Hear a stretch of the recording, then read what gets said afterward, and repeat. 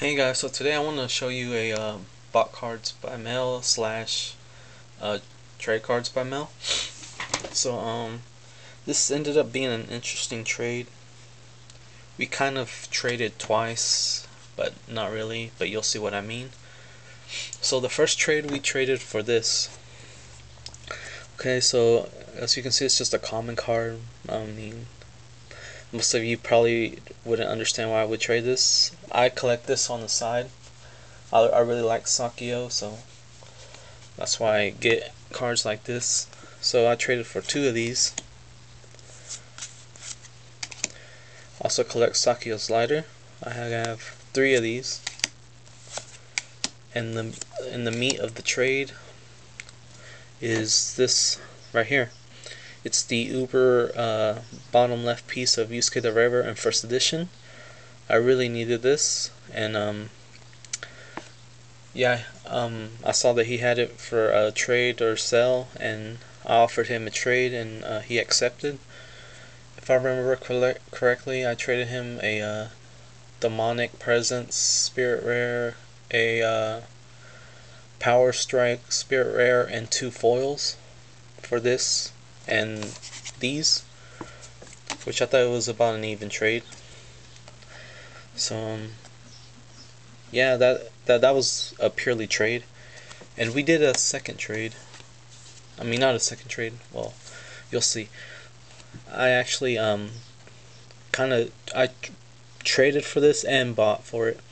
So what I did was um he needed a uh, forlorn hope for forlorn hope and um, this card is obviously worth more than uh, that so I ended up giving him uh, Forlorn Hope and ten dollars for this. So that's where the uh, bought cards by mail slash trade video comes in. And um he he sent this in one package. And I ended up sending my uh, trade uh, slash purchase in two separate envelopes.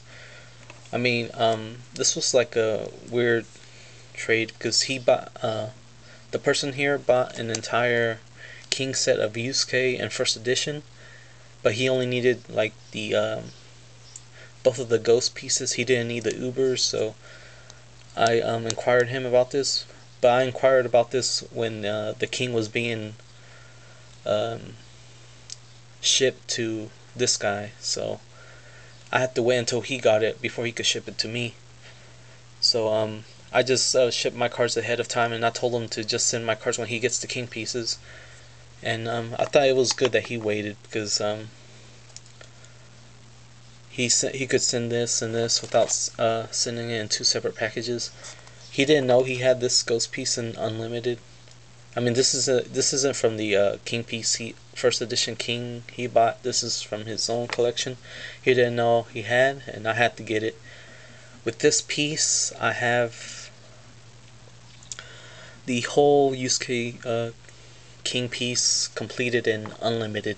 I only need to complete it in first edition, which I'm pretty sure will be kind of hard to do since uh, the ghost pieces don't really pop up for sale that often in first edition. So um, yeah, that does it for this purchase. I thought, I mean, trade slash purchase. That was a really good one. So thank you for the trade, and I'll do it for this video. Thanks for watching.